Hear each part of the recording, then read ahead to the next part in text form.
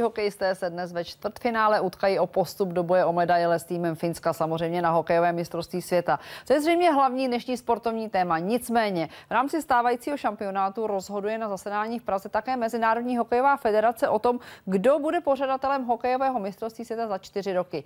Jediným kandidátem je Slovensko. Co může Slovenská republika nabídnout, jak by se připravila na mistrovství světa v hokeji 2019? To nám teď řekne prezident Slovenského svazu ledního hokeje Igor Němeček. Zdravím vás, dobrý den. Dobré ráno, dobrý deň. Poté, co odstoupilo Švédsko, je tedy Slovensko jediným kandidátem? Máte to tedy už jisté, nebo se ještě může stát, že to pořadatelství nedostanete?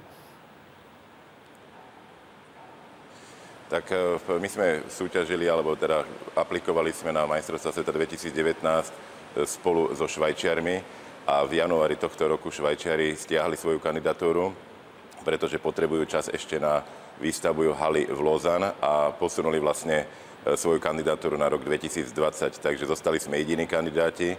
Náš e, prezentačný a prípravný proces, dá sa povedať, e, prebiehal dosť dlho a dnes by mala byť zakončená táto prezentácia práve na kongrese, ktorý dneska začína tu v Prahe a zajtra by delegáti mali definitívne potvrdiť to, že v roku 2019 budú majstrovstva sveta po 8 rokoch opäť na Slovensku. Ano, ta prezentace začíná dnes ráno. Co budete hokejové federaci nabízet? Jaké oblasti vyzdvihuje?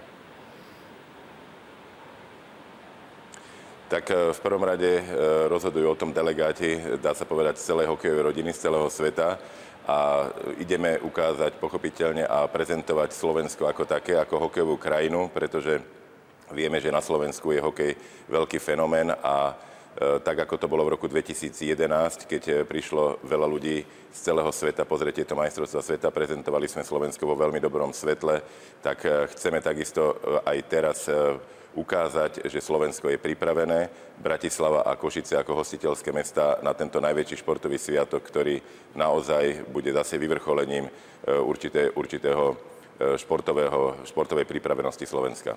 Pokud máme správné informace, je známe už i moto, i logo pro rok 2019, tak nám trošku ještě dejte do souvislostí, proč třeba zrovna moto Slovak Republic, Hockey Republic, Play Again?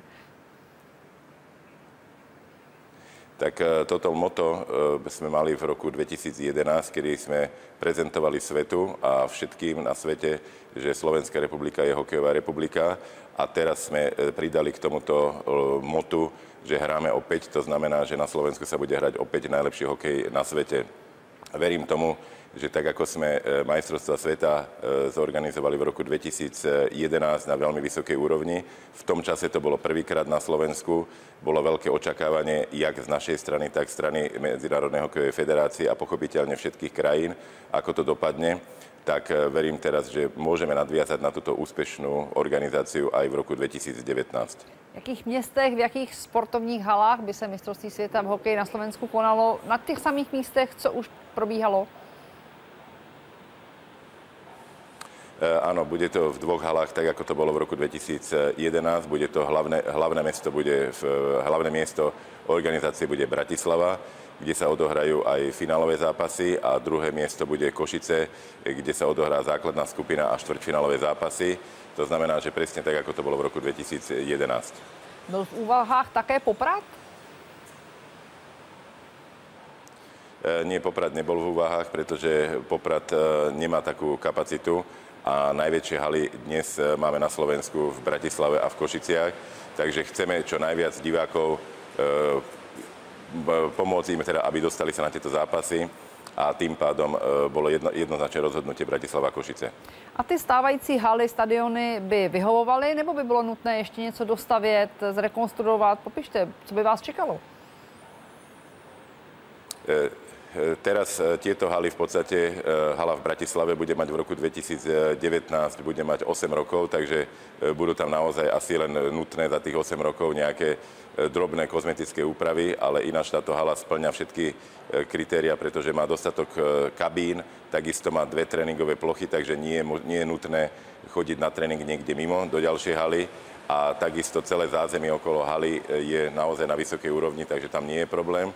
V Košiciach takisto v roku 2011 bola dostávaná tréningová hala, je tam veľký dostatok kabín, takže tiež zázemie a celé hokejové, to, čo potrebujú hokejisti, tak je na najvyššej úrovni, jak v Bratislave, tak v Košiciach. Takže toto je určitě jedna z věcí, eh, která je velmi vysoko hodnotená Mezinárodnou hokejovou federáciou. Kapacity pro diváky by byly také dostačující, protože já jsem si našla, že slovenský, řekněme, rekord je z roku 2011 400 tisíc asi návštěvníků. Teď v Praze možná padne rekord více než, nebo překročí se hranice 700 tisíc. Eh, to znamená, ta kapacita se hodně navýšila. Tak, eh, tak, eh, tak u nás tie haly sú nie tak vysoké, tak veľké ako v, v Česku a v iných krajinách, pretože Bratislavská hala má maximálnu kapacitu niečo okolo 10 tisíc a v Košiciach je to 8,5 tisíca, takže u nás určite nebude možné prekonať nejaké divácké rekordy ale ide nám o to, aby tieto haly počas tých zápasov, ktoré budú sa hrať počas majstrovstiev sveta, boli maximálne naplnené a to verím, že tak, ako sa nám to podarilo minule, aj teraz sa nám to podarí. Eh, jaká je úroveň ubytování, hotelové služby, restaurace v obou zmiňovaných městech. Já teď třeba se ptám konkrétně na ruský tým, protože jsem četla, že Rusové mají čím dál tím eh, jaksi náročnější požadavky, hotelové pokoje za 17 tisíc na noc a podobně. Toto všechno by byly obě eh, ty, tato města, Košice, Bratislava, schopny poskytnout? Tak oni naozaj ten, ten systém sa mení e, z roka na rok, jednotlivé týmy majú väčšie a väčšie nároky. E, organizačný výbor to, čo musí za, zabezpečiť počet izieb a kvalitu všetky tieto veci, či v Bratislave, v Košiciach máme veľmi kvalitné hotely, dá sa naozaj vyberať, do ktorého hotela ktorý tým pôjde. Vieme, že ruský tým má špeciálne požiadavky takisto v Česku, takisto mali minulý rok už v Bielorusku ale myslím si, že aj takéto požiadavky sa dajú splniť či už v Bratislave alebo v Košiciach a myslím si, že budú všetci maximálne spokojní, pretože tie hotely s tými kvalitnými službami uspokoja naozaj najnáročnějšího klienta. Pokud budete mistrovství světa v roce 2019 pořádat, a to vám samozřejmě přejeme, kdy začnete s přípravami, co se začne řešit jako první?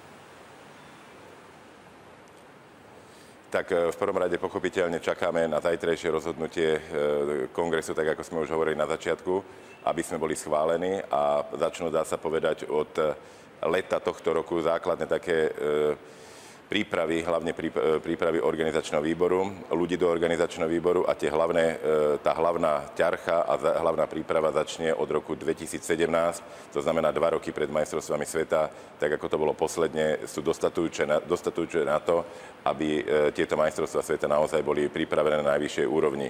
Pochopiteľne, tak ako sme už hovorili, bude dôležité čo najskôr nakontrahovať všetky ubytovacie kapacity, pretože pochopiteľne okrem tímov, ktoré musí musíme my ubytovať a ďalších hostí, ktorí budú počas majstrovstiev sveta v Bratislave a v Košiciach, e, bude veľký záujem aj turistov.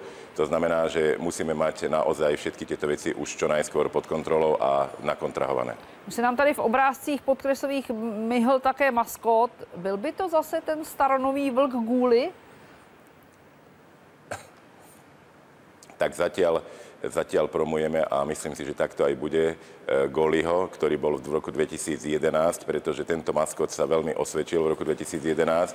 Stal sa veľmi populárnou e, postavou na Slovensku a od roku 2011, keď skončili majstrovstva sveta, tak hokejový zväz pri všetkých svojich akciách, e, či už reprezentačných, alebo aj pri náboroch detí a podobných hokejových akciách robí s týmto maskotom, takže stále je, dá sa povedať, v, v dianí tento maskot.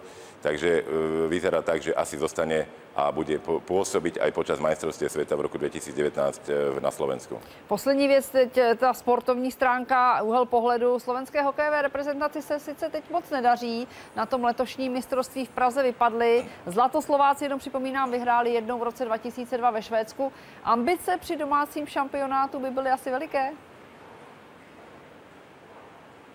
Tak e, je to vždy pochopiteľne, že okrem toho športového, okrem toho organizačného úspechu chce každá krajina mať aj ten športový úspech. E, je to vždy ťažké, pretože vieme, že na ten domáci tým, či to bolo v Bielorusku, či to je teraz v Česku, či to je, bude v Rusku, je vždy veľký tlak a ťažko, ťažko sa proste dosahujú tie najvyššie mety, ale pochopiteľne že Slovensko, to, čo sa mu nepodarilo v roku 2011 na domácom šampionáte, bude chcieť očiniť určite v roku 2019 v Bratislave a bude chcieť čo najďalej sa dostať, aby nielen ten organizačný, ale aj ten športový úspech sa dostavil a bola spokojnosť na obidvoch stranách. Říká prezident Slovenského svazu ledního hokeje Igor Němeček. Děkuji vám za rozhovor a samozřejmě přejeme úspěch a držíme palce, ať se vám to podaří a mistrovství světa v hokeji 2019 je na Slovensku. Naschledanou. Ďakujem, ďakujem veľmi pekne aj ja.